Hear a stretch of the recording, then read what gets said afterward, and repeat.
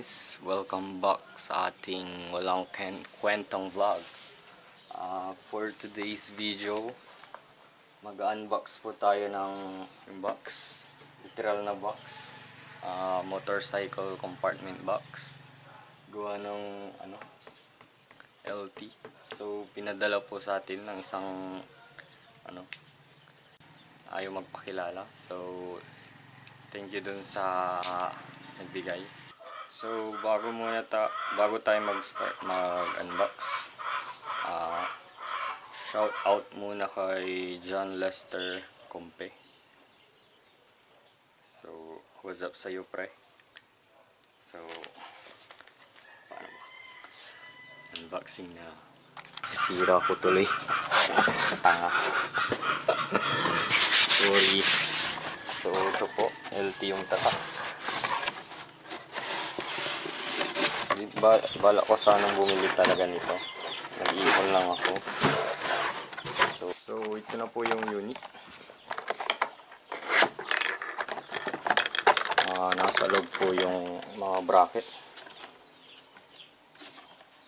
Ah, ilang liters siya. Alam ko 15 liters ata to eh. Hmm, basta. Thank you na lang sa nagbigay. Hmm. Ah, 25 liters. So, dito yung bracket. Tanggalin muna natin. Kasya siguro yung isang ano dito.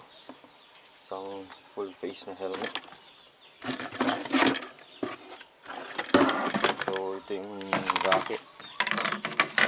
Ah, dito siya ilalagay. Ganyan. Tapos, ito yung mga bolts. Tapos yung ilalagay sa ilalim. So, sa pagkabi, ito lang yung kailangan natin. Wire wrench na 8 mm para tatang para sa pagtanggal nitong grab bar.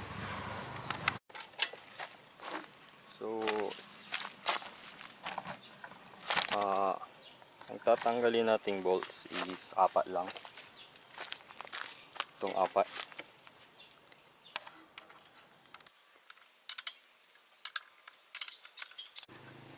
So, natanggal na po natin yung grab bar. At ang papalit natin is itong grab bar. So, ang problema lang, ah yung isang, hindi, hindi pwedeng ilagay yung isang bolt. Sabi kasi dun sa ano, pwede yung ano, sabi nila pwede yung Mio Sporty na bracket, kaya lang, kailangan pa rin butasan dito para mailagay. So bala ko is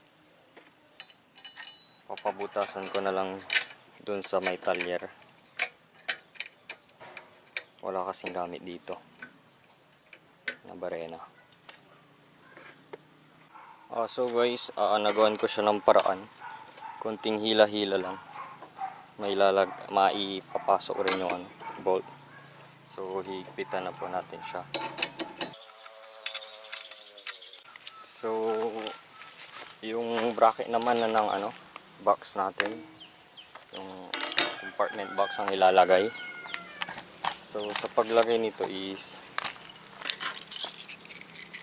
ah tatanggalin na natin saglit. Ah, mag-ingat lang po kasi para hindi mawala yung mga washer. So, may dalawang klase yung washer yung ito square dito natin ilalagay. Sa mga ano square square. Tapos dito rin kahit saan. Kung saan pwedeng comfortable ay compatible. Tapos itong bilog naman ah, para dito. Para dito. So install na po natin. So nakapag decided na po ako. Ah saglit tigas ah dito ko siya ilalagay dito sa may una tapos bandang dito sa may dulo so ang paglagay nito is yung washer tapos yung bolt tapos yung bakal sa ilalim. Ganyan. Tapos higpitan lang. Kailangan din natin ng 8 mm na wrench para higpitan. So, dyan muna kayo.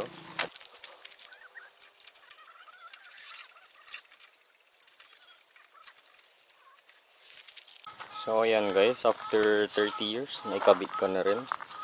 So, dito ko siya nilagay. Yung panandaan ko lang na gitna na is ito. Sakto may gitna.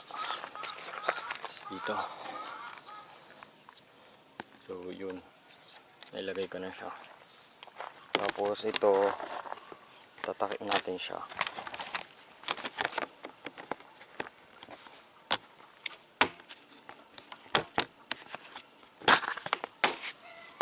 Yun. Wala. Yun. Natakip na natin siya. So, so sa paglagay nitong box, dito muna sa dulong unahin. Ito. Lalagay dyan. Tapos, ipupush natin. Ipupush natin to para mag-lock to. Kasi may bakal dyan. Yun. Pag pinush mo yan, atras yan. Maglalak ngayon siya dito.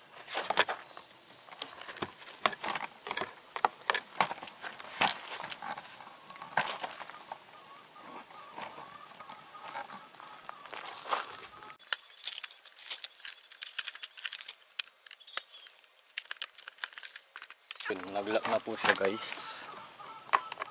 Ah. so yun na. Meron na tayong compartment. Kasya yung isang helmet. Yung gamit kong helmet.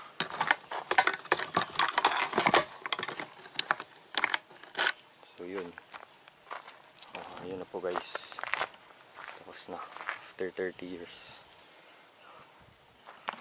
So, nagpawisan ako dun. Ah, saglit.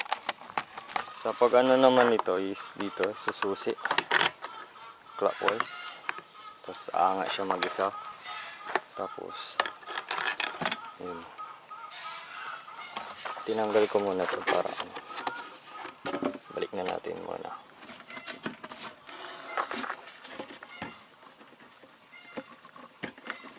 So yun. Meron na po siyang lalagyan. Sa pagbalik naman is ganito lang kasimple. Sarado. Tapos ito i-push mo ng konti. Yun. Tak, sabi niya. Tapos ito counterclockwise. Na. Sana hindi siya kagaya ng ibang box. Tapos ano, na maingay kapag naalog. Dumadan sa bako-bako. So, yun lang po. Thank you ulit sa nagbigay. Whew. So, hanggang dito na lang ulit tayo. Salamat sa panonood ng walang kwentong vlog. Ah, please like, share, and subscribe for more videos. This is Jemar Miranda. Thank you for watching. Bye-bye!